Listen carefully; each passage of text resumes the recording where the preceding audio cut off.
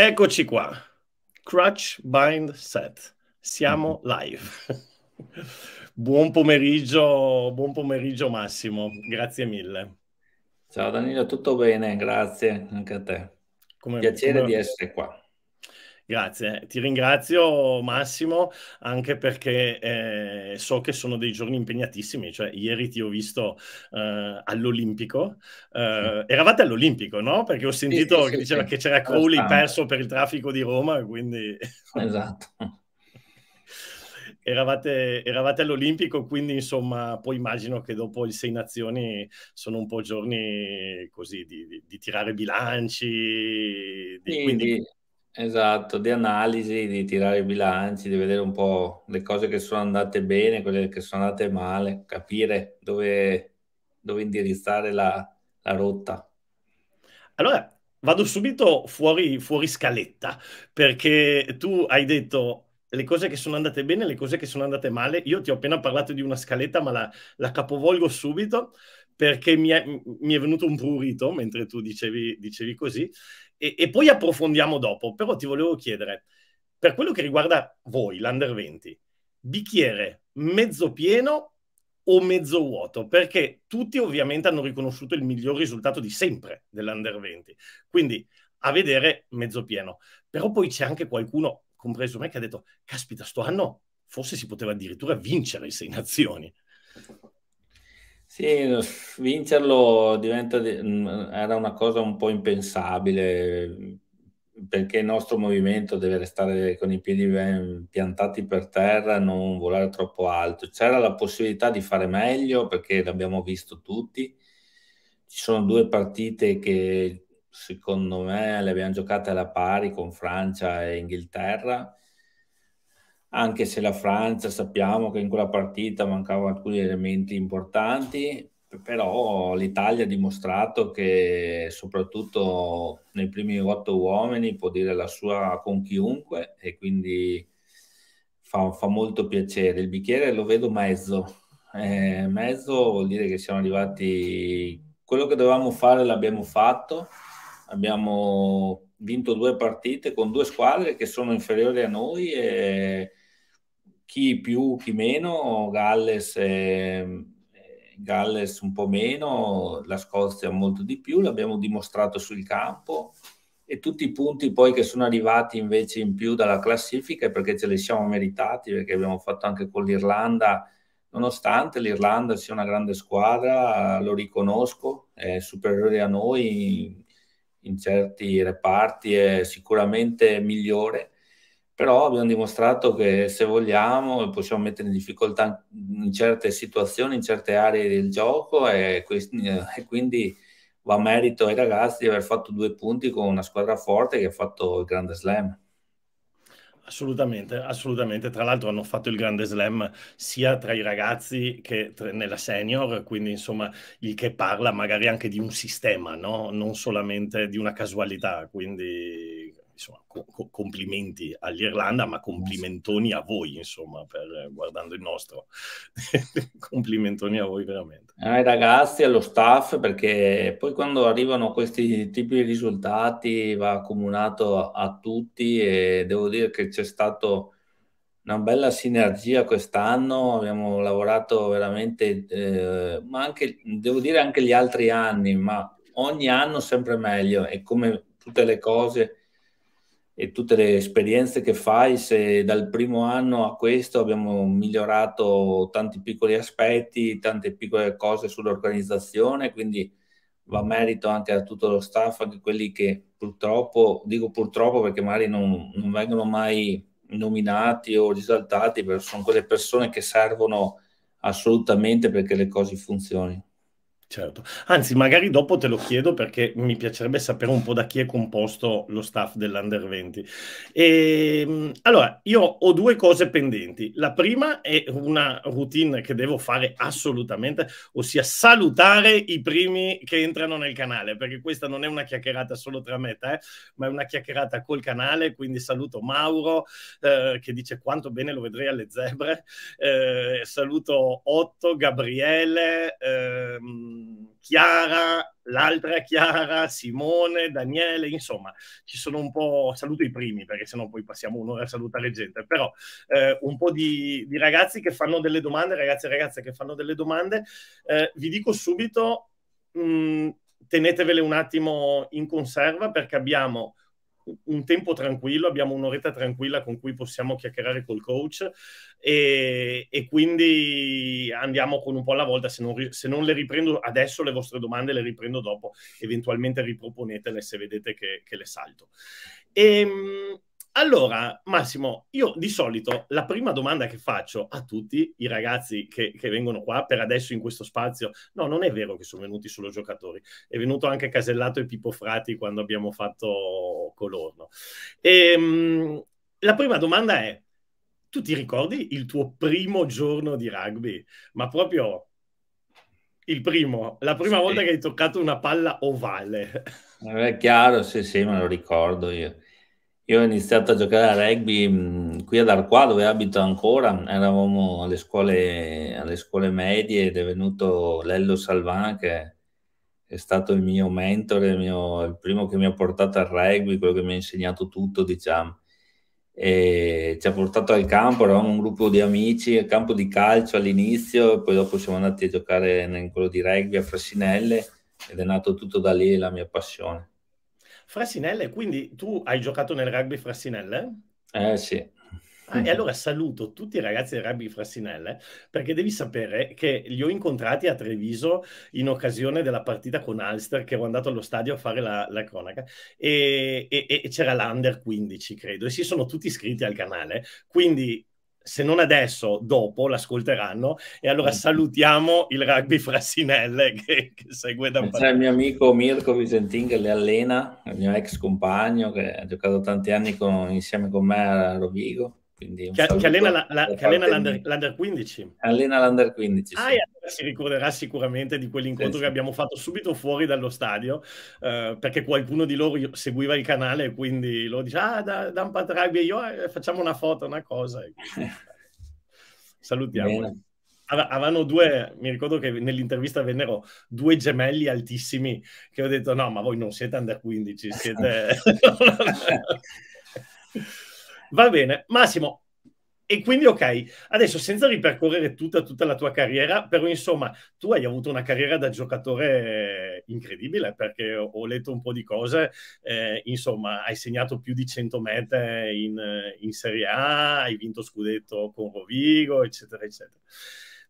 Ti, ti chiedo su questa cosa solamente una cosa, che cos'è della tua carriera che ti porti tra virgolette, in panchina eh, nel, nel, tuo ruolo di, di, allenatore? Che cos'è che ti è rimasto e che ti rendi conto che fa la differenza quando alleni i ragazzi? Ma i rapporti umani, i rapporti che hai nello spogliatoio, le cose che senti, che, che certe volte non puoi spiegare e che invece poi quando le vivi, sai, sai benissimo come vanno gestite, come vanno prese.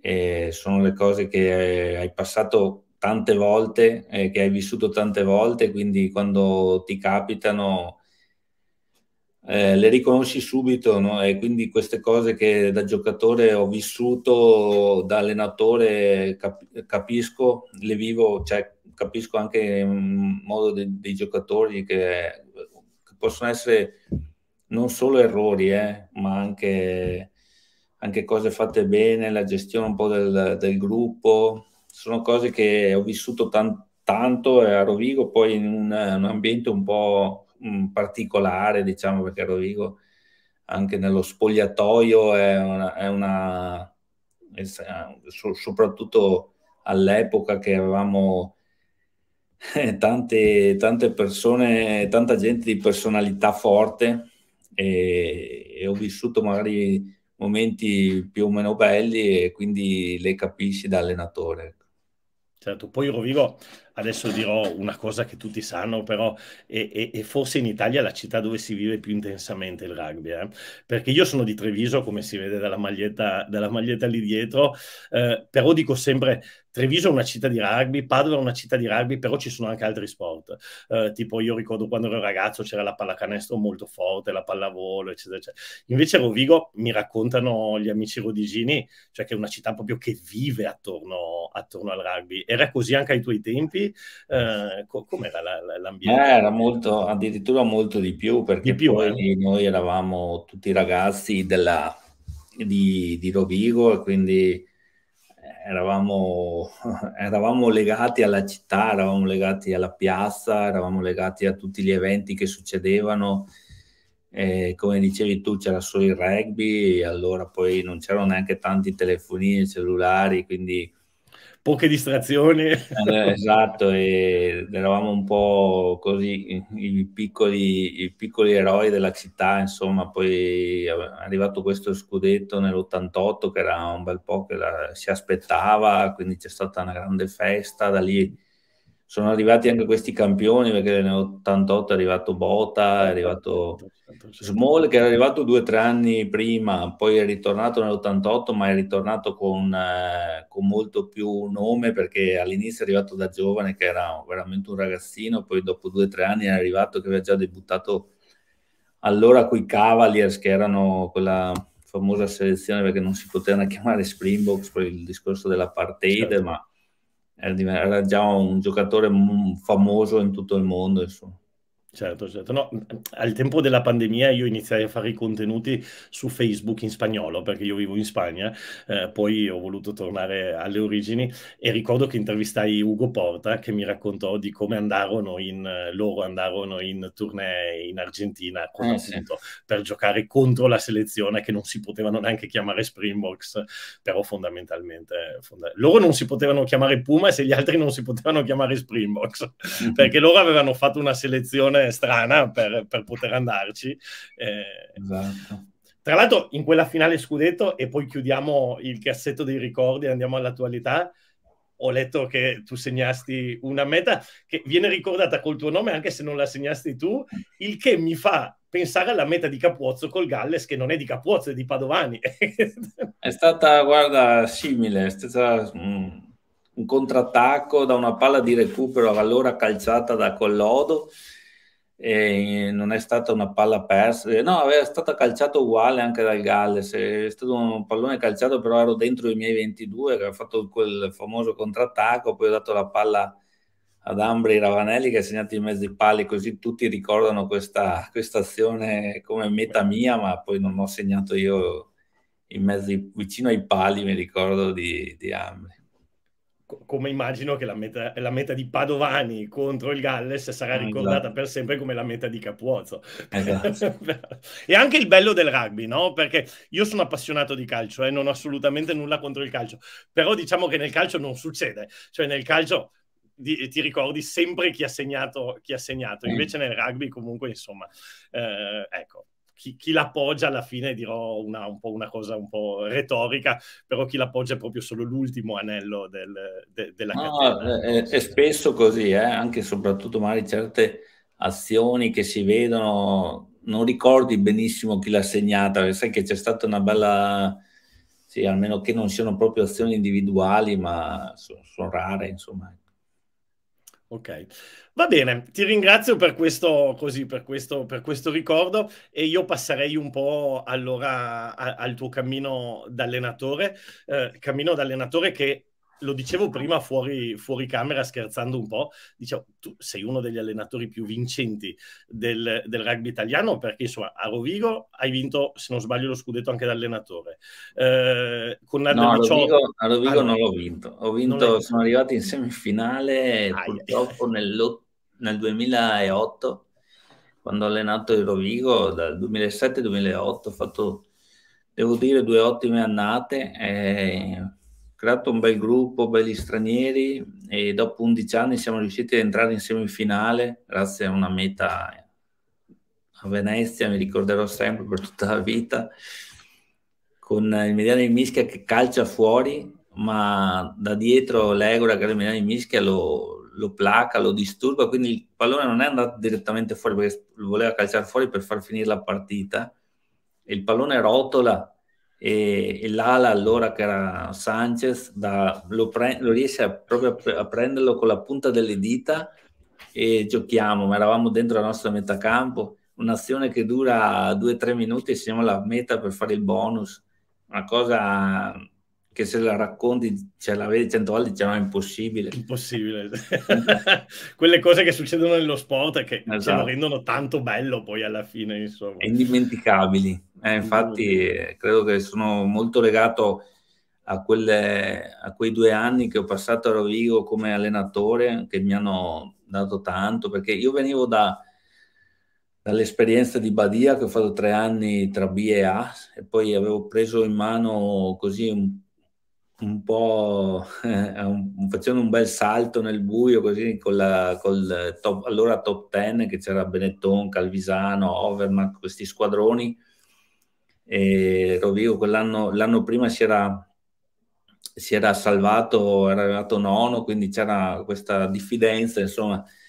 Però abbiamo costruito bene con un gruppo di amici che avevamo fatto dirigenti, con alle spalle un, ancora, ancora c'era Zambelli con la Femici Z, il professor Costato, mi avevano dato fiducia.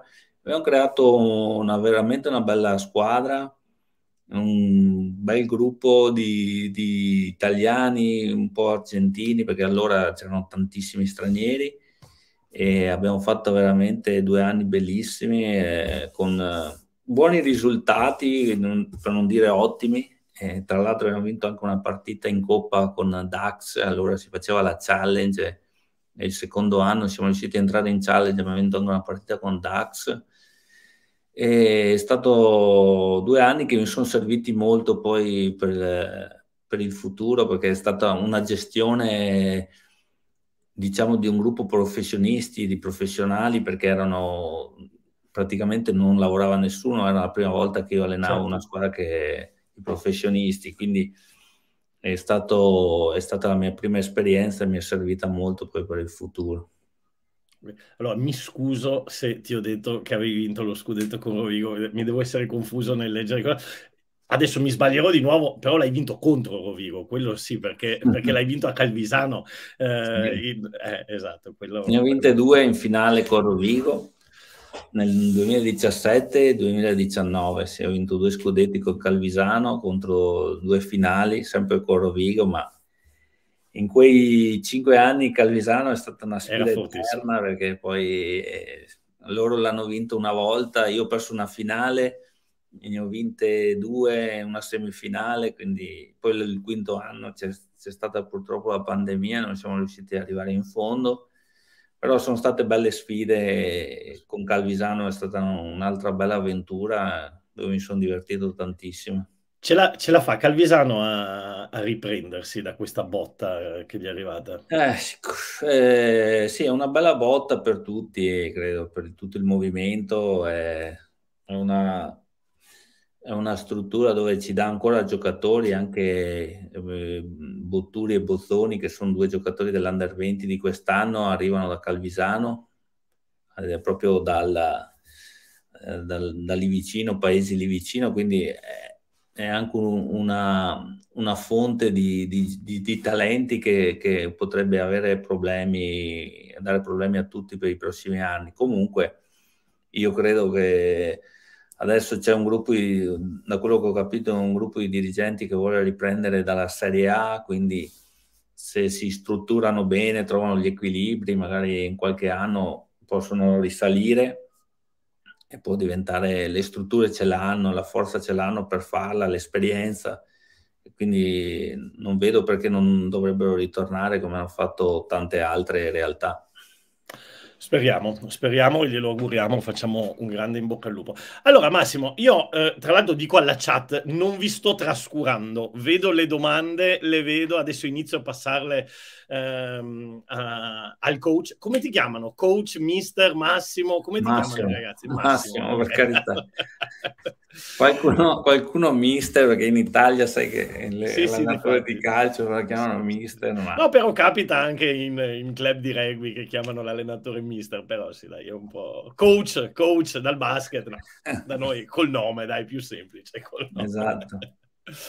Va bene, allora, e quindi vedo le vostre domande, adesso ci arriviamo. Però per aprire il ragionamento sull'Under 20, Massimo, ti volevo chiedere, um, che cosa perché prima hai detto il bicchiere a metà, probabilmente si è vinto le partite che si dovevano vincere, si è perso quelle che era pronosticato perdere, anche se forse ci sono stati dei momenti in cui si sarebbero potuto vincere, però io non sottovaluterei anche quelle vinte, perché alla fine è vero che quelle che si sono perse forse si potevano vincere, però è anche vero che quelle che si sono vinte si sarebbero anche potute perdere, perché no, insomma no, infatti... entrambe si sono messe a un certo momento, perfino quella con la Scozia, i primi 20 minuti... Il primo tempo. Eh, esatto, il primo tempo non è che fosse un po' più tranquilla, tranquilla. E quindi ti, ti, ti volevo chiedere, eh, che cosa ci teniamo di positivo e che cosa invece ci portiamo a casa come lezione per, per lavorarci su?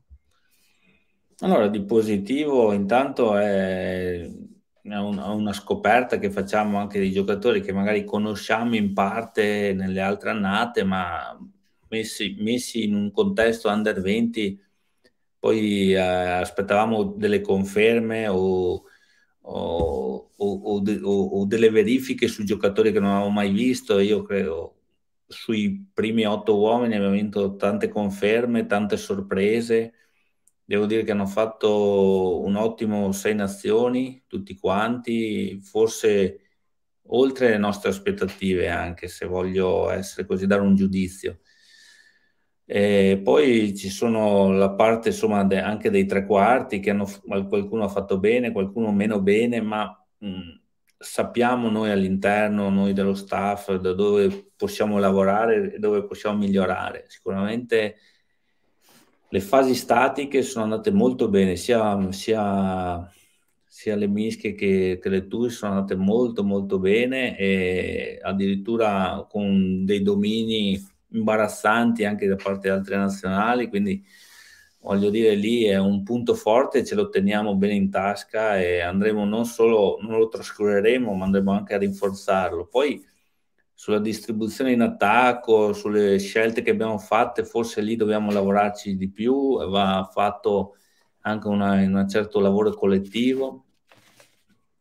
È una, è una strada un po' lunga, un po' più difficile, però adesso a maggio, tra maggio e giugno speriamo di avere più tempo per farlo perché durante i raduni pre-sei nazioni i giocatori che erano in Francia, quest'anno ne avevamo avuti diversi, venivano un po' qualcuno sì, qualcuno no e abbiamo avuto difficoltà poi quando ci siamo trovati tutti insieme nella selezione a lavorare questo tipo, questo tipo di lavoro in attacco e è una cosa che va fatta più e più volte, non può essere una cosa improvvisata, le organizzazioni vanno lavorate, vanno anche provate e, e purtroppo per esempio con l'Irlanda abbiamo utilizzato tanti giocatori, con la Francia ne abbiamo utilizzati degli altri perché volevamo anche fare delle, delle, un, un, tipo di selezione, di verifica e quindi magari abbiamo trascurato un po' questo, questo aspetto.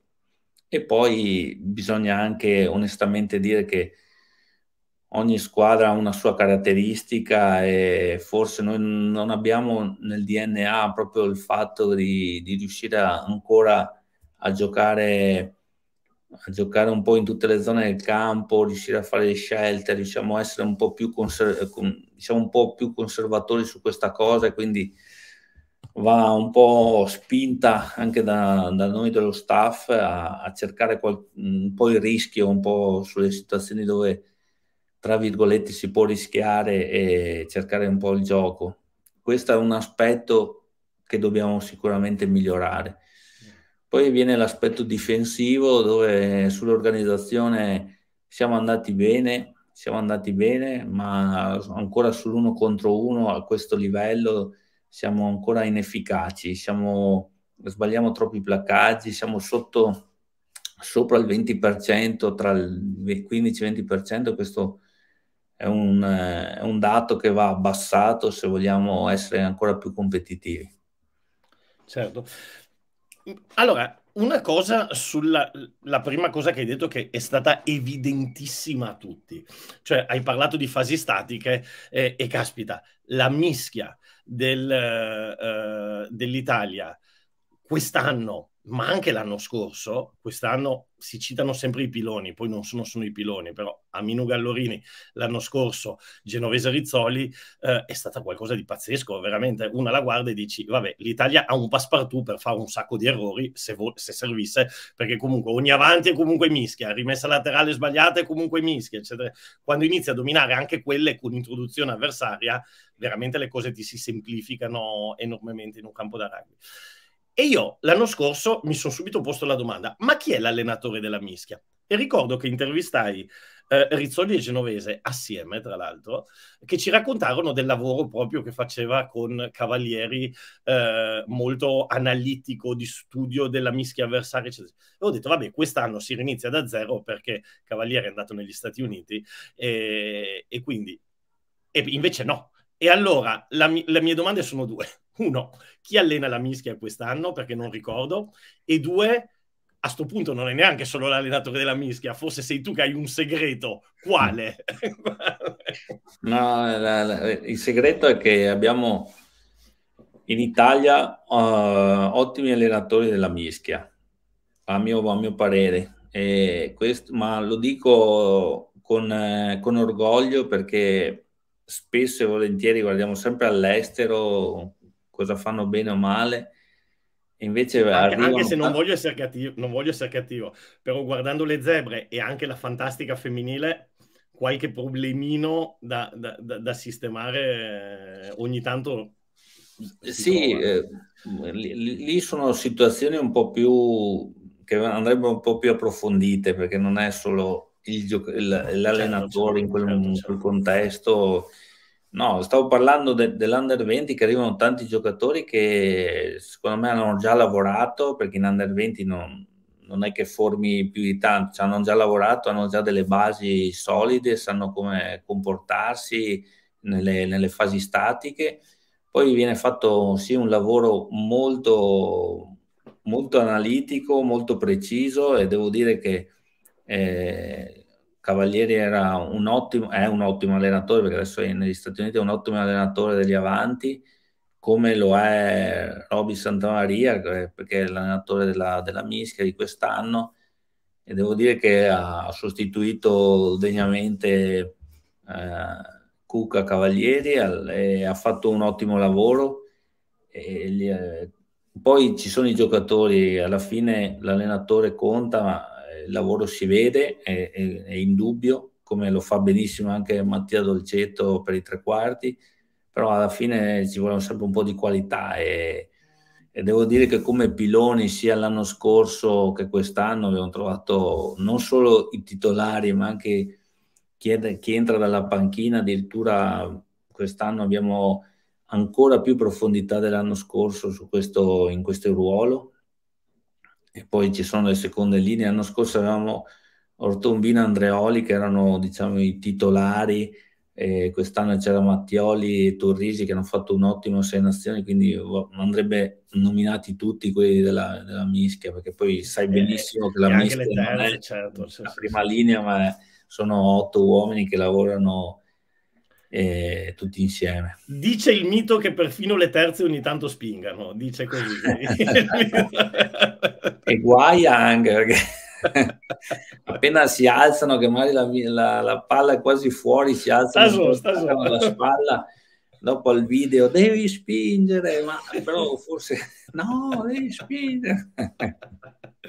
Allora, io mi sono allargato e sto veramente tralasciando la chat, quindi Massimo, vado un po' random adesso, anche se il discorso sarà un po' meno slegato, però prendo delle domande dalla chat.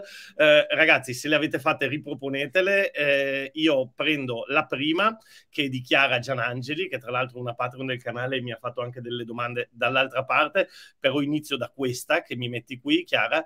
Eh, le percentuali di placaggi sbagliati si spalmano su tutti i reparti in maniera omogenea o è una cosa maggiormente tra tre quarti o avanti? E no, poi no. chiede se su questo non potrebbe aiutare in età giovanile eh, un po' di lavoro in Italia col Seven, eh, che con me sfonda una porta spalancata. Non so qual è la tua opinione al riguardo. Sì, sì, assolutamente. No, i placaggi vanno contati su tutti i placaggi che facciamo. E di solito una partita va dai dai 100 placcaggi quando si fa poco ai 150 quando se ne fanno tanti e se fai un 20% eh, potrebbe essere o 20 o 30 insomma sono quelli che sono tanti su una partita sbagliati quindi poi ci sono quelli dominanti raddoppi placcaggi contiamo un po' tutto però mh, il placcaggio sbagliato è una cosa che va, va, allenata, soprattutto noi in Italia alleniamo pochissimo da, nel mini rugby, nelle età giovanili, le, si predilige sempre il passaggio, questa cosa, ma è uno skills importante il placcaggio, come tutto andrebbe allenato. guarda, guarda, guarda Massimo, da, da, da, da tifoso Benetton sta settimana avevo le mani nei capelli perché insomma la, la, la, meta, la seconda meta che ci fanno i Lions, nove placaggi sbagliati e tutti tecnicamente orribili perché tutti addirittura o con la testa dalla parte sbagliata o addirittura che arriva con le due mani e poi nella spinta ma da gente forte, cioè stiamo parlando di Alessandro Garbisi, Riera, Drago, gente che anche tu hai allenato e che, e che insomma li, li, dovrebbe, li, saprebbe fare i placaggi, però poi non è sempre facile.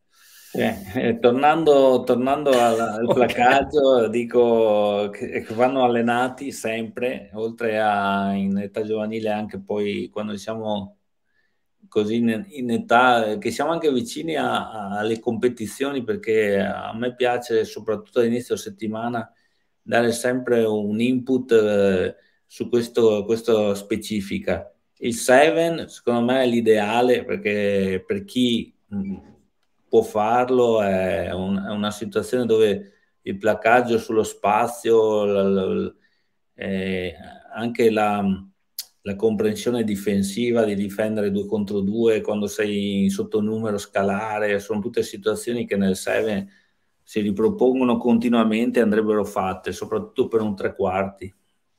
Certo, certo. Anche se ormai nel 7 col rugby moderno ad eccezione dei piloni destri, tipo appunto quello dei Lions della settimana scorsa, che era, era un po' anacronistico, anche se poi ha, ha, comunque fatto una buona prestazione, però ecco, ad eccezione di quella tipologia, ormai tutti i giocatori possono giocare a 7, perché a partire da piloni sinistri alla Nemer eh, o alla Fischetti, a tallonatori che corrono come dei matti, insomma, poi seconde, terze, ormai, ormai è rimasta veramente solo una posizione nel rugby eh, una volta si diceva il rugby è per tutti i tipi di, di, di tipologia, però è rimasta una posizione per i ciccioni, tra virgolette, il pilone destro, e nemmeno sempre. È che al 7 adesso sì, dipende poi a che sì, livello dipende dal livello, certo, se gioco sì. io, insomma, adesso può giocare tutti, però se giocano a livello un po' alto, il 7 è parecchio impegnativo è parecchio impegnativo, soprattutto nella velocità, si muovono tutti con rapidità e velocità anche ormai in prima linea, così seconda linea, ma poi ci sono le ali e centri, tre quarti, insomma, che volano e, ed è difficile poi negli spazi aperti essere competitivi, però eh, aiuta sempre. Eh. Si, si, è discretamente velocizzato il rugby rispetto ai tuoi tempi, no? Allora, Lino chiede, domanda interessantissima, eh, a cui ne, ne, ne, aggancio qualche altra vicino che era arrivata prima, perché prima qualcuno diceva, caspita, abbiamo visto l'Under 20 con uno stile più basato sugli eh, avanti, mentre abbiamo visto un'Italia maggiore con uno stile di gioco molto chiaro e marcato e se ne è parlato anche, anche, ieri, lo stesso Crowley ne ha parlato.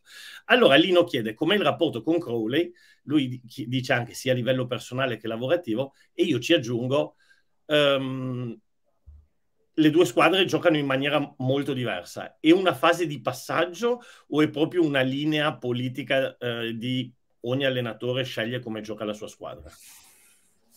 No, ogni, ogni, gioca- ogni allenatore sceglie come gioca la sua squadra, poi bisogna adattare un po' il gioco ai giocatori che hai, ecco, ripeto. Chiaro che se devi, noi, noi che abbiamo così tanta superiorità davanti, a volte per risolvere i problemi ci basiamo sugli avanti, non cerchiamo altre soluzioni. E, e la maggiore in questo caso, qualche, qualche exit da, dai loro 22 usano le mani, non usano più tanto il box, forse perché hanno visto che magari fanno fatica a recuperare il pallone e quindi ognuno cerca la soluzione migliore con i giocatori che ha. Poi io con eh, Kiran ci siamo visti ieri lì alla conferenza stampa, ma non abbiamo un, una, un incontro, eh, diciamo, eh, che può essere... Eh, che viene ogni, ogni, settimana abitudinario che cadenzato, possa, sì, cadenzato sì, sì, che possa essere che ogni mese ci troviamo per parlare quindi ognuno ha, ha una sua ha un suo percorso e andiamo avanti così insomma poi eh, così abbiamo qualche incontro casuale dove mi chiede i giocatori e io magari eh, gli parlo di quelli che, che, secondo me possono aiutarlo nei prossimi anni a, andare avanti nel, nel loro percorso. Ecco, questa è un'altra domanda che ho già letto tipo sette volte in chat, in più me l'hanno mandata anche in, in privato, eccetera, eccetera. Eh, immagino che come a tutti gli allenatori non ti piaccia troppo parlare di individualità, però la domanda che ricorre più spesso quando si parla di under 20, anche quando io faccio le live, me lo chiedono a me. Danilo, secondo te chi è di questi che potrebbe già fare il grande salto, eccetera, eccetera. Poi dipende anche cosa si intende per grande salto. Però, um, ecco Um, ci sono dei ragazzi che secondo te sono pronti l'anno prossimo per dire, per giocare un buon minutaggio in URC uh, e magari bussare alle porte della nazionale maggiore come hanno fatto Menoncello, Garbisi? Uh. Sì, eh, eh, ci sono giocatori che possono farlo, adesso è inutile neanche tanto far finta di niente, se li sappiamo, non, non è che ce li inventiamo, insomma eh, addirittura May, questo è il suo secondo sei nazioni che fa, ha giocato, lui adesso è a Clermont-Ferrand, quest'anno ha debuttato in Champions Cup con gli Stormers, è vero che era una partita ormai per il Clermont, diciamo, persa perché non, non aveva ambizioni per passare il turno, però fare un'esperienza di quel tipo per un giocatore di, di 19-20 anni è, sicuramente aiuta lui è un giocatore che magari il prossimo anno Clemont gli potrebbe dare dello spazio e giocare già in top 14. Quelli che sono qua in Italia, cioè, poi scusa, c'è anche Odiase che è a Ionax, adesso mi diceva che l'hanno integrato, lui era negli Espoir, l'hanno integrato con la prima squadra, quindi loro... Che tra l'altro sbaglio o sono messi bene in classifica? No, nel... sono primi con eh, esatto, 20 quindi, punti di... Quindi, esatto, quindi potrebbe, essere, potrebbe, essere, in top 14 no, l'anno sì. E, e, lui è stato integrato con la prima squadra, quindi magari trova spazio per giocare o in Pro D2 o il prossimo anno in top 14 e, e, quelli che sono in URC ho visto Passerella che ha fatto qualche minuto quest'anno il prossimo anno è un giocatore Benetton quindi viene confermato credo che ci sarà anche qualche altro giocatore che va... ieri, ieri è, filtrata, è filtrata qualche voce che parlavano di Marcos Gallorini che anche potrebbe approdare in Benetton ma lui tra l'altro è un 2005 quasi 2006 4, no? 4. Eh, è, un 2000, è 2004, scusa, quasi 2005, perché è nato a ottobre, è nato sì, eh, sì. qualcosa del genere. Eh, e, e, allora lì ti volevo anche chiedere, per i piloni è un po' più complicato, perché abbiamo visto Neculai dominare in under 20, Alongi dominare in under 20, Rizzoli, Genovese, però poi quando fanno il salto è tutto un altro mondo, insomma. No, la prima linea è veramente uno sport a sé, cioè non, non conta conta poco l'under 20 nel senso che le esperienze hanno dimostrato che hanno qualità, gli va fatto un percorso giusto per loro, ad esempio Rizzoli quest'anno ha trovato un buon minutaggio secondo me con, uh, con le zebre e purtroppo eh, eh, Geno, Genovese non l'ha, trovato, non l'ha trovato, sono giocatori secondo me che andrebbero indirizzati anche con il top 10, il top 10 in mischia chiusa è ancora un, buon, un buonissimo livello, un buonissimo livello. E secondo me chi fa il pilone in top 10 per un paio d'anni, vedi eh, Momo Asa che è stato a Padova o Spagnolo, eh, hanno fatto un, discreto percorso, un, un, discreto, un buon percorso e adesso sono anche pronti per fare il salto. O vedi, non è un pilone, ma è sempre una prima linea, o vedi il percorso di Nicotera, che, che è arrivato già in età adulta e adesso è, è insomma, è, è, imprescindibile in nazionale. Sì, già eh, Jack eh, ha fatto anche il salto de, del ruolo, perché io me lo ricordo tanti anni fa quando era in Accademia a Mogliano, che veniva in, lui era un invitato, veniva a, a giocare a terza linea, quindi ha trovato questo, questa fortuna anche di, di, di, con il cambio di ruolo, poi ha giocato a Rovigo, ha fatto diversi anni in prima linea in top 10, quindi poi quando è andato a Treviso ha esploso, e un merito suo perché è un giocatore di, di una generosità unica, quindi ha fatto molto bene. Una domanda che mi è arrivata eh, ancora prima della live nel gruppo dei Patreon eh, era la seguente. Eh, poi si è ripetuta anche qua in chat, ne ho già viste due o tre su questo tenore. Sul gioco al piede. Eh, allora, la maggiore un po' per scelta, ma anche un po' per interpreti. Voi, eh, forse per, per entrambe le cose, sabato la femminile, insomma, il minimo, comune, eh, il minimo comune, le zebre anche non calciano quasi niente, forse Treviso è quella che, che, lo utilizza più. Il minimo comune denominatore delle squadre di alto livello italiano è che giochiamo poco al piede e male. Secondo te c'è una ragione per cui andiamo verso questa direzione? Anche perché nel rugby moderno invece il resto del mondo ci racconta che forse il gioco al piede è diventata una delle cose più importanti nel, nel rugby moderno. Magari sbaglio io nell'analisi. Eh?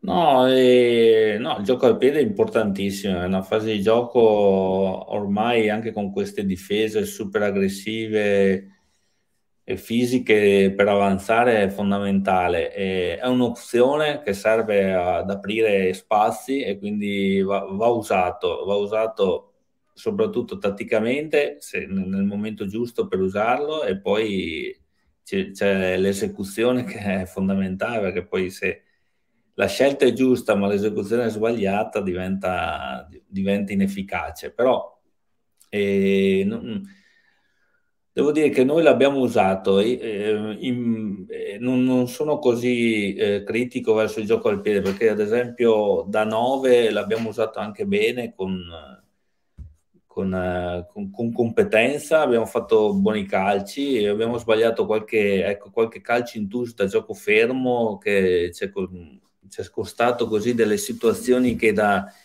da, una situazione in attacco che potevamo andare a trovare una touche dentro il loro 22, sbagliamo i calci in touche e ci ritroviamo con la squadra che deve, ha una mischia contro a metà campo, sono le cose che vanno vanno corrette e che non è tanto gioco al piede, ma capire il momentum della situazione, l'importanza che ha quel calcio che, che va ad, eseguire, perché ca- cambia anche l'aspetto della partita. Questo è l'aspetto da, da, da, da far capire al giocatore.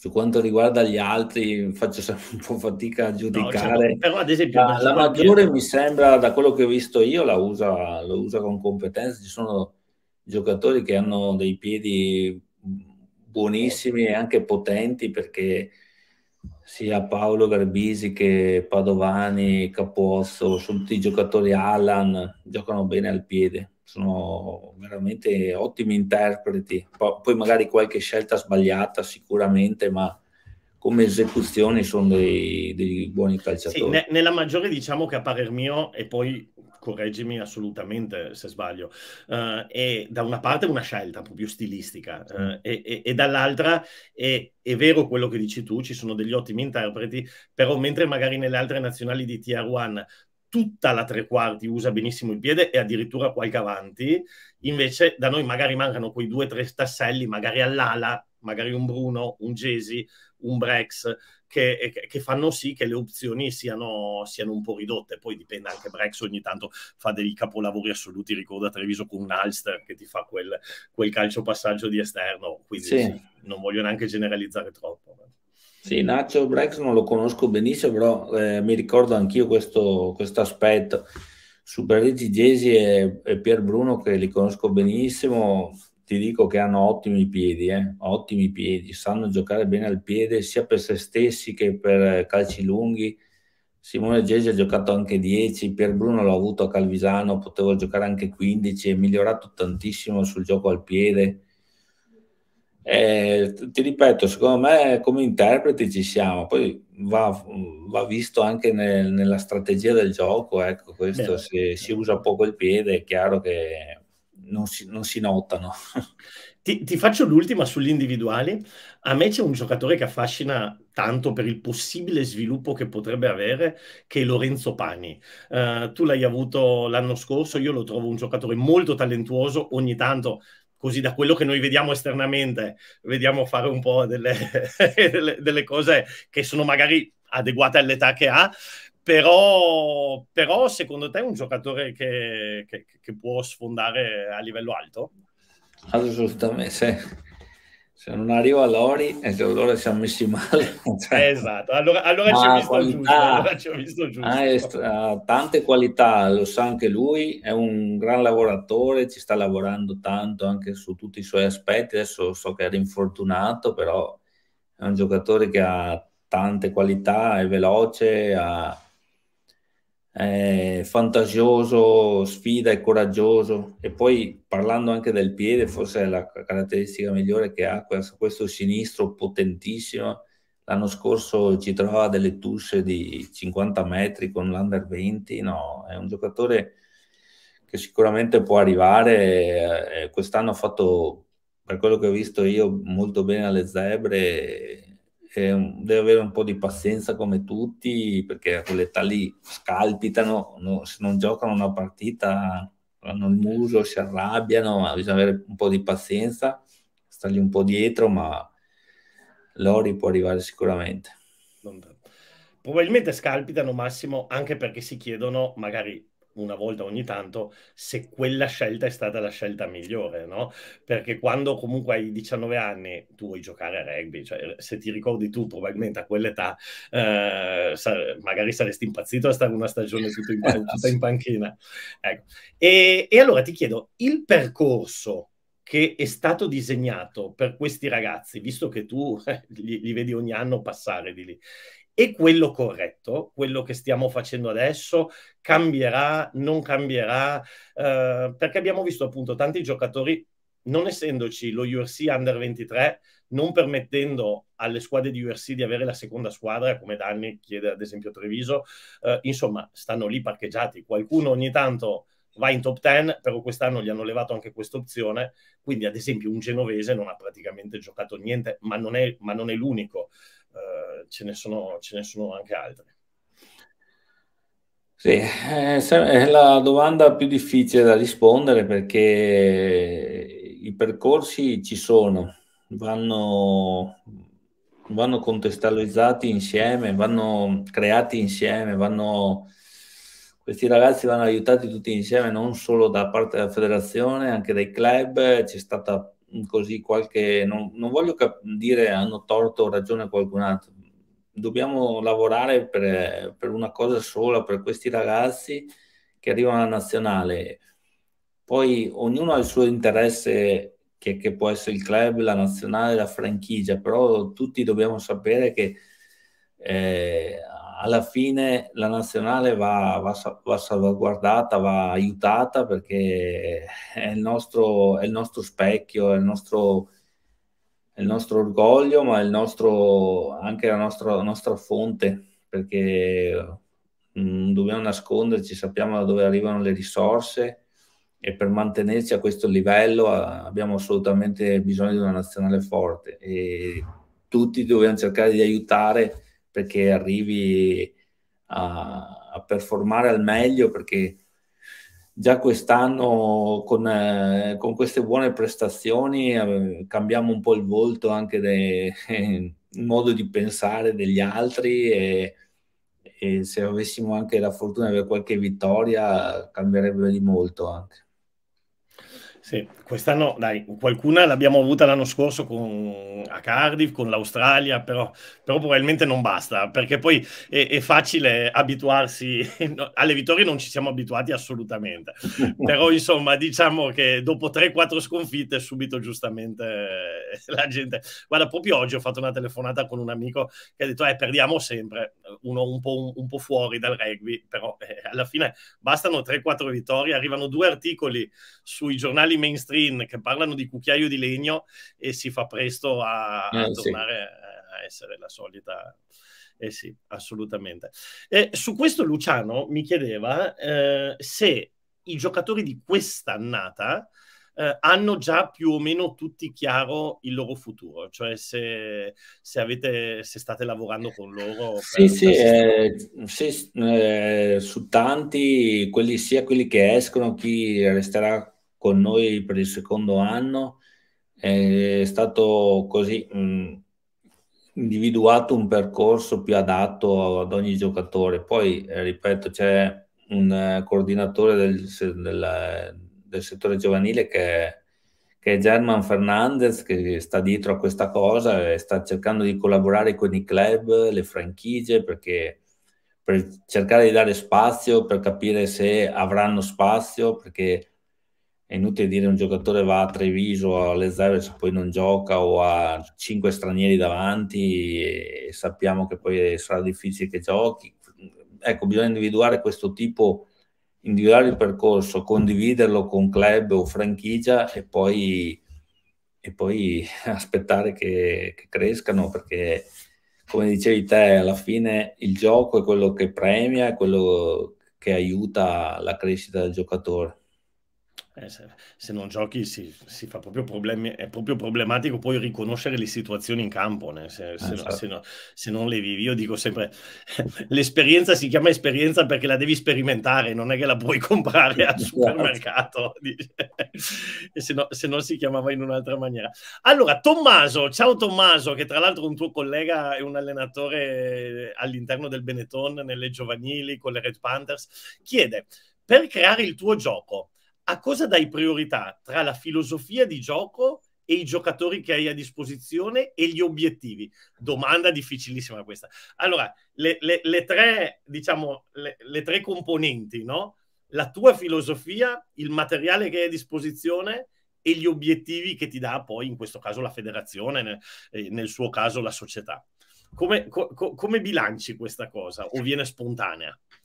No, è, è, prima di tutto sì, un allenatore deve avere una filosofia, un'idea di gioco e poi in base a quella devi capire anche il materiale che hai a disposizione, quindi cerchi di farlo nel meglio possibile senza stravolgere troppo la tua filosofia, però cercando un po' anche di adattare le caratteristiche ai giocatori a un giocatore anche che... perché poi Massimo, scusa se intervengo un secondo più velocissimo. Eh, tu allenando una nazionale, cioè non è come nel club dove eventualmente te li puoi scegliere. Dici, andiamo a cercare un flanker di quel livello lì, andiamo a cercare no. una cosa.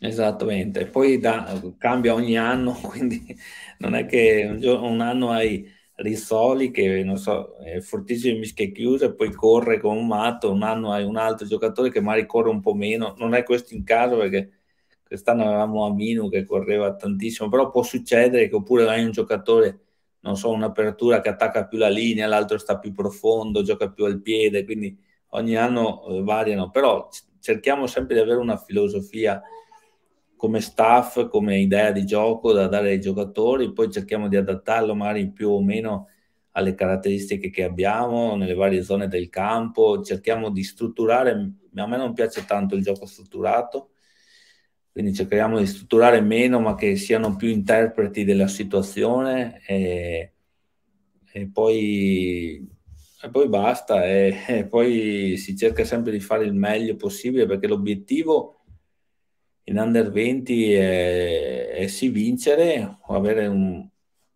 no, vincere sempre un particolare essere competitivi cioè essere lì per giocarsela fino alla fine. Però l'obiettivo è anche dar spazio ai, ai ragazzi di, de, di, poter esprimersi chiaramente chi, secondo noi merita di, fa, di, di averlo. Ecco. Fantastico, grazie. Andiamo, eh, poi c'era una seconda parte di quella di Tommaso, però credo che tu gli abbia già risposto, perché Tommaso diceva l'ordine cambia a seconda di allenare un under con i giocatori che cambiano ogni anno e una seniores dove c'è più tempo per trasformare i giocatori nella direzione che si vorrebbe. Tra l'altro poi chiude dicendo, tra l'altro nipote di, nipote di Severino, credo che sia lui il nipote di Severino, un saluto da entrambi. Ah eh, sì, un grande sì, è stato... un mio collaboratore in Accademia Mogliano, grande persona, grande personaggio, lo abbraccio forte. Che quindi magari sono là assieme nipote e nonno che stanno eh, ascoltando. Bellissima. Allora ti faccio l'ultima da, da, da, da, coach perché non sembra, ma questa community è piena anche di allenatori. Di... Non è che io faccia contenuti troppo tecnici, eh, però si vede, che, si vede che sono interessanti. E, e allora c'è Ottavio eh, che ti chiedeva una cosa sulla partita specifica con la Francia e poi andiamo in chiusura se ti va bene, sai dieci minuti. Sì, sì, sì, tranquillo. Okay. Allora, Ottavio chiede, rispetto alla partita con la Francia, l'atteggiamento nel breakdown difensivo da parte dei francesi ha rallentato tanto il gioco d'attacco, con il placatore che si alzava nella zona di azione del mediano di mischia e non rotolava via e non veniva sanzionato dall'arbitro. Ti chiede, ne avete parlato di questa cosa e come eventualmente ci si adatta a questa situazione? E poi chiede eh, se come è andata la mediana, se forse eh, ci sono eventualmente opzioni diverse rispetto sia a mediano di mischia che a mediano di apertura, che con tutta la fiducia eh, sia per Battara che per Sante è una domanda che è, è venuta abbastanza ricorrente durante, durante questo torneo. Sì. No, con la Francia sì, ci sono state queste situazioni nel breakdown difensivo, poi abbiamo mandato le clip anche all'arbitro su alcune cose che non erano chiare devo dire che ci ha dato anche ragione su alcune scelte che ha fatto l'arbitro, però ci stanno anche queste cose, insomma, si cerca di migliorare. Sul, eh, da parte nostra, però, dobbiamo essere, fare un po' mea culpa perché il portatore a terra in quella partita, ma anche nelle altre, è stato un po' il nostro, un po' il nostro difetto, non lavorava bene. E quindi il placatore, cioè il portatore che non lavorava bene dava la possibilità sempre al, al, placatore o a chi andava a recuperare di mettere le mani e soprattutto poi i sostegni che non, soprattutto il sostegno interno che non lavorava bene è quello che fa un po' la differenza e non andava basso, non arrivava bene con il timing giusto, aspettavamo sempre che mettesse le mani, quindi c'è stato un rallentamento e, è vero che non siamo riusciti poi a creare tante fasi con la Francia, essere quel gioco multifase magari in attacco che può anche andare a squilibrare un po' la difesa, però, eh, e tra l'altro non è che non sia nelle tue corde, perché l'anno scorso invece io mi ricordo un'Italia che lo esprimeva quel tipo di gioco lì. Sì, eh, l'abbiamo fatto, soprattutto alle Summer Series abbiamo fatto buone partite su quell'aspetto, soprattutto in attacco, anche lì venivamo dalle sei nazioni, avevamo lavorato tanto quindi confido, confido poi ai mondiali di quest'anno di riuscire a fare in questo aspetto, in questa fase di gioco meglio. E, e niente, sul discorso 9-10, io sono uno che seglie i giocatori, ci metto un po' perché sono molto riflessivo, aspetto tanto, seguo i giocatori e secondo me dobbiamo dare fiducia, un po' aspettare. Succede che non dobbiamo farci prendere un po' dall'emotività, sbaglia una partita, cambiamo subito, bisogna avere con i ragazzi, bisogna avere molta pazienza. Sante secondo me l'anno scorso ha fatto molto bene con l'Under 20, quest'anno lo sa anche lui che poteva fare meglio, ci sono state partite che ha fatto bene, altre un po' meno, e ha anche cambiato club, cambiato nazione, quest'anno è andato a giocare in Francia, a Montpellier, quindi ci sono tante componenti che dobbiamo anche interpretare, capire. E, però c'era, c'è stato lui e c'è stato anche nell'ultima partita abbiamo messo Brisighella, Brisighella. che è un, un, ragazzo del 2004 che ho visto con la 19 all'inizio dell'anno giocava estremo e siccome nel 2004 così c'era anche questo problema del 10 e nel 2003 non avevamo un secondo 10 che vedevamo sicuro, abbiamo iniziato a lavorare con lui che secondo me ha le caratteristiche per farlo. Un po' alla volta ha preso fiducia, è un giocatore che aveva fatto la 18 l'anno scorso, però la 20 è un bel salto, soprattutto per chi è il primo anno di Under 20. L'abbiamo inserito un po' alla volta, abbiamo fatto fare qualche partita, ha fatto una partita da estremo titolare con il Galles perché mancava May ha preso fiducia secondo me bene, poi gli abbiamo fatto fare da 10 con la Scozia, però sono tutte situazioni che ci vuole un po' di pazienza, bisogna lavorarci, bisogna crescere, bisogna sbagliare, perché per crescere bisogna sbagliare, per fare esperienza. Se tutto va bene, eh, lo sai benissimo poi che non, le, da, non è dalle cose positive specialmente che impariamo, ma sono da quelle negative, quindi ma poi, ma poi, accade addirittura tra gli adulti, che magari un no. giocatore che uno dice mamma mia e poi improvvisamente succede qualcosa, gli cambia il chip mentale e dici chi l'avrebbe mai detto. Esatto. Uh, sì.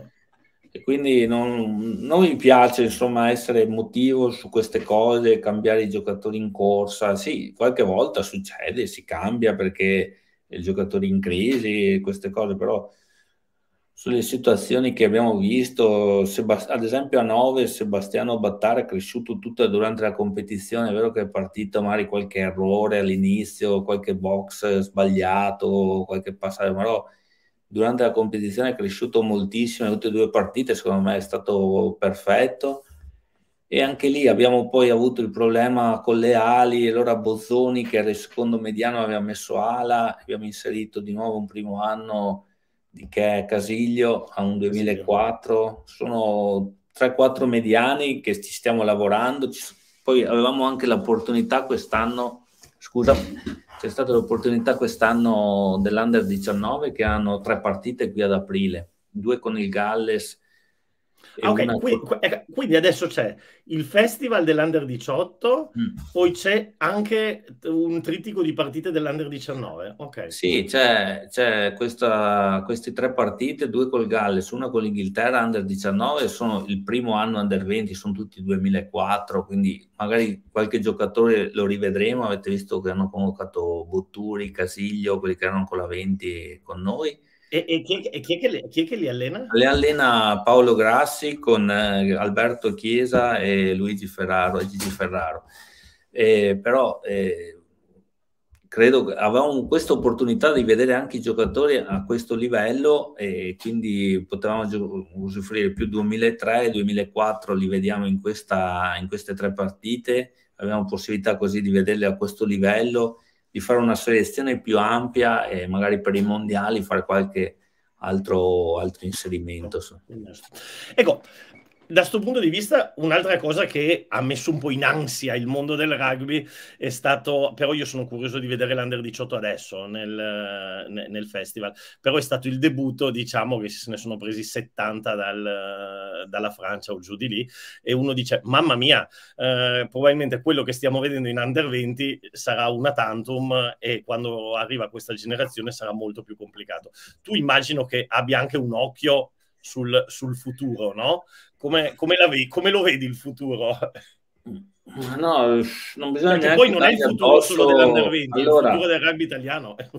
sì, no, è che quando succedono questi, queste batoste dobbiamo capire che non è magari solo colpa dei ragazzi, capito, di quell'annata lì che non devono sentirsi così schiacciati Adesso io ho visto la partita ed ero la Francia, ho visto una Francia fortissima con competenze altissime in tutti i ruoli, un 10 che poteva giocare con i seniores benissimo, eh, fisici davanti, quindi eh, eh, bisogna vedere anche con che, che, avversari si incontrano. Adesso hanno questo, questo festival che serve un po' per scoprire anche i ragazzi, metterli a confronto. Le squadre mi sembra che abbiano Francia e Inghilterra le prime due partite, quindi sono molto testanti. Non diamogli subito giudizi affrettati, aspettiamo un po' che, che sviluppino anche loro le loro competenze a questo livello perché ci vuole, ci vuole tempo e poi, poi magari i giudizi li diamo a fine, a fine annata. Certo, certo, certo, ricordandosi Anzi, sempre... Aspettiamo, non bravo, solo esatto, fino a 18, certo. magari esatto, aspettiamo esatto. anche la 19 la 20. Esatto, cioè poi quando si parla di giudizi io dico sempre, io cerco di dare sempre opinioni mai giudizi perché cioè, già, è difficile, già è difficile dare un'opinione, figurati dare un giudizio, insomma, esatto. e poi con ragazzi di 18 anni ancora, ancora di più, ancora di più.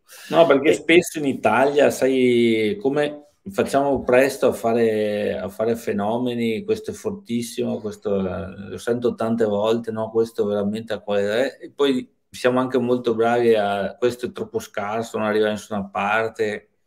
Eh, è difficile, è difficile soprattutto con i ragazzi. Ho visto eh, giocatori che poi hanno tempi di maturazione diversi uno dall'altro, quindi non, non aspettiamo che magari uno non fa la 20. Io faccio sempre un esempio oh, su me stesso. Io ero in settore giovanile ero il più bravo di tutti, giocavo numero 10, ero in under 17 ero giocavo un anno prima, giocavo, mi facevano capitano, sono andato in 19, ero forte e ho fatto nove presenze in nazionale. Altri giocatori, tipo faccio un esempio, Giovannelli, che poi è stato il mio capitano, che nel, nel settore giovanile lo convocavano, non lo convocavano, così non era poi lui ha iniziato, ha iniziato, tardi lui, no? Quindi quasi magari... Sì, sì, è vero che ha iniziato un po' tardi, però ha sempre fatto un po' le, le, le giovanili, ma non era quasi mai titolare, giocava pochissimo e poi ha fatto... Cin- dico 50 per non dire, non so neanche quante presenze ha fatto. Ma, ma guarda, ti, due mondiali. Ti, ti dico una, un'altra cosa che io dico sempre,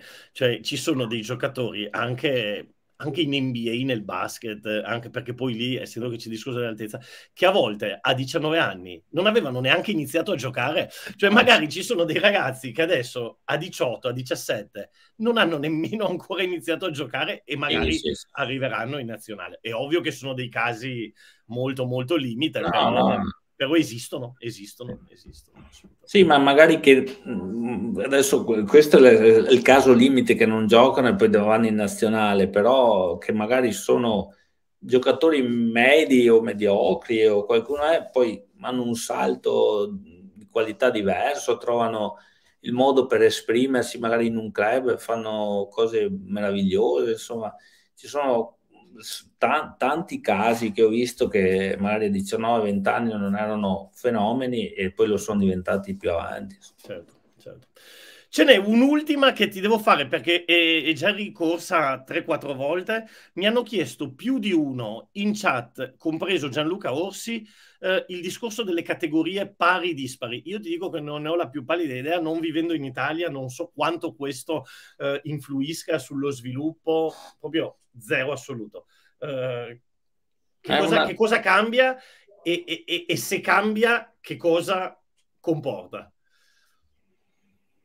Eh, no, eh, se devo essere sincero, neanche io no, non, è una cosa che eh, gestiscono più eh, la FIR su, sull'alto livello con, eh, con, i coordinatori dei settori giovanili. Non, non, non, entro nel merito perché non, non, conosco bene la materia, sì, conosco che cambiano le annate che, che, vanno e che vengono, sì, ad esempio il 2005 che sarebbe l'anno 18 di quest'anno, adesso usciranno completamente e vanno a giocare subito in sen- nei seniores, quindi è un'annata un, un po' penalizzata da questo, ecco, ci sono delle annate che vengono penalizzate da questi salti di, di categorie, perché il prossimo anno eh, ci sarà, mi pare, l'ultimo anno sarà il 2006 che posso fare i rientranti e quindi eh, diventa difficile per certe annate, però non, non chiedermi il perché perché non, lo, non saprei rispondere. Ok, ok. Bene, allora io andrei in conclusione eh, proprio una, una eh, proprio generica su un sogno che immagino voi tutti in questo momento avrete, Massimo, soprattutto i ragazzi, ma magari, ma magari anche te, ehm, il mondiale. Cioè, torna finalmente il mondiale dell'Under 20, che cosa ci possiamo aspettare da questa nazionale? E, insomma, come lo stanno vivendo i ragazzi? C'era Chiara, un'altra Chiara, Chiara nel senso che chiedeva anche come vivono gli allenatori lo stress e, e come sfoga la stress e la tensione un coach. Allora, qual è il livello di ansia premondiale e che cosa ci aspetta?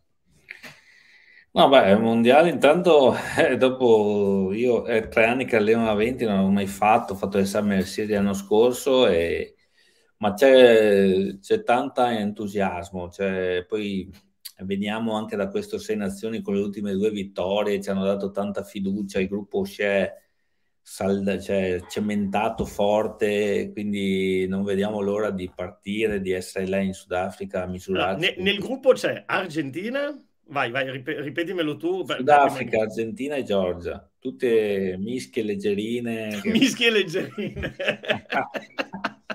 Vabbè, si divertiranno gli avanti, dai. Sì. No, no, infatti, no. Sono, tre, sono, tre, squadre diciamo, che fanno del gioco degli avanti la loro no, forza. E, e, mettici anche l'Italia di quest'anno. E anche Insomma, l'Italia, pensa che, che scornate che vengono fuori.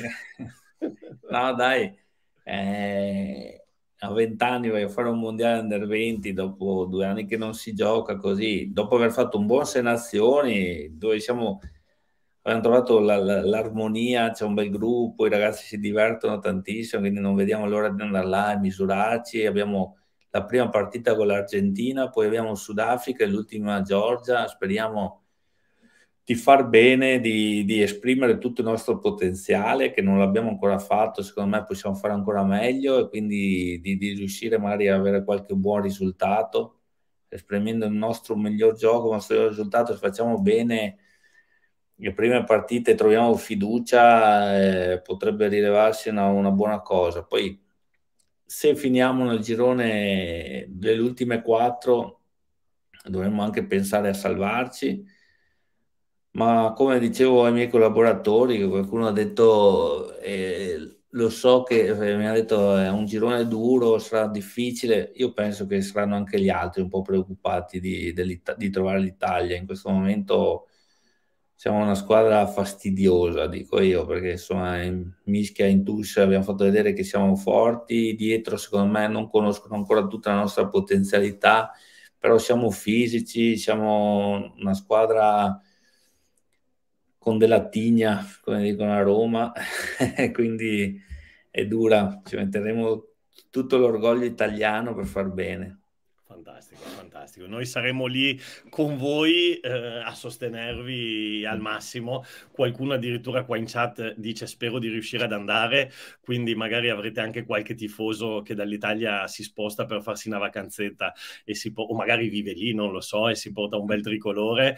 Eh, insomma, speriamo, speriamo in bene. Massimo, io ti ringrazio. L'ultima domanda con la quale io sempre chiudo è un invito a chiudere gli occhi, pensare alla tua strada rugbistica da quel primo giorno ad oggi e scegliere un momento, un momento è difficile, ma un momento che per te è il momento che ti è restato di più nel cuore o nella testa, o insomma, il tuo momento di rugby e raccontarcelo. Ma un momento, ce ne sono tantissimi. Eh, ma però il gioco è così, devi scegliere, eh, Massimo. Eh, allora, allora scelgo, scelgo l'ultimo o il primo, ma se è meglio scegliere, scegliere l'ultimo, dai, così che è più fresco, che è questo con l'Under 20, quando, quando ci siamo, abbiamo finito la partita col Galles, che abbiamo raggiunto la prima vittoria, eravamo molto felici e guardando negli occhi così ragazzi mi sono reso conto che che, che, li avevo aiutati a raggiungere un sogno e mi fa è quello, è quello, che mi dà più soddisfazione vedere loro felici è questo che mi, che mi gasa di più essere, a fare questo mestiere che bello che bello, che bello. E detto da uno che ne ha vissuti di momenti di rugby, mm. insomma, credo che i tuoi ragazzi saranno ben felici ed, ed, ed emozionati a sentirti eh, dire queste parole. Massimo, io ti ringrazio veramente, è stata una chiacchierata piacevolissima. Eh, il tempo è volato, mi scuso per aver sforato l'ora che mi avevi concesso. Eh, un grande, grande, grandissimo in bocca al lupo per, per, per, guidare questi ragazzi, insomma, che sono il nostro futuro. Grazie. Io ringrazio te, ringrazio tutte le persone che mi hanno fatto le domande, che ci hanno seguiti. Io dico sempre che sono un privilegiato per questo mestiere ed avere la fortuna di, di, fare quello che faccio, di avere queste soddisfazioni, ma vorrei dividerle con tutti tutto il rugby italiano perché questo movimento è piccolo, ma possiamo dire la nostra. Guarda, già il fatto che siamo qua in 50 alle 3 del pomeriggio di un giorno lavorativo testimonia che c'è ah, una delle due. O nella, in questa community non lavora nessuno, oppure, oppure c'è tanta passione, c'è tanta passione. grazie, grazie Massimo, grazie. Ciao. Grazie a te. Ciao, ciao a chat, ciao a tutti. ciao, ciao, ciao, ciao. ciao.